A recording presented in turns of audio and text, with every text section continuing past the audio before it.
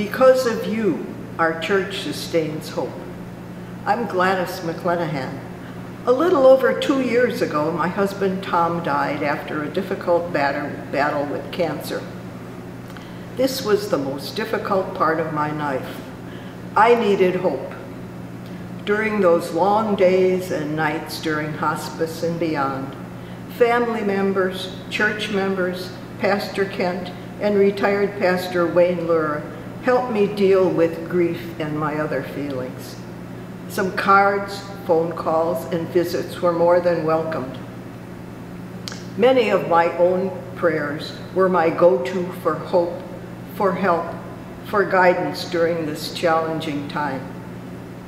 Then in May of 2019, I moved to Eagle Crest South and shortly after sold my home on Main Street. It was at this time that the chairperson of our church's visitation committee asked if I would be visitor for our church members living at Eagle Crest South. I do believe that this was an answer to my prayers. I needed some way to help me heal, to share the gifts that God has given to me, and to become better acquainted with those in my new home. For the past year or so, I would visit these friends in person to share time and experiences with them and let them know that we cared about them. However, in the last seven months with the virus and the resulting quarantine, I resorted to phone calls, sending cards, emails, notes, flowers, and, oh yes, sometimes sweets.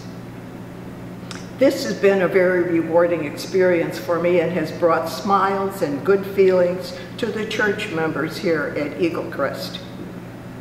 Our church maintains a very active visitation committee, and during this pandemic period, we have tried to contact members by way of phone, cards, and notes with thoughts of staying connected. Our virtual worship has been a help but also had some problems with connection and hearing abilities. We all look forward to the time when we once again can worship in church, but in the meantime, we maintain hope and pray. Fred Rogers of Mr. Rogers' neighborhood was told by his mother to always look for the helpers. You'll know there is hope if there are helpers they can turn despair into action. We here at First Congregational Church are helpers. Because of you, our church sustains hope.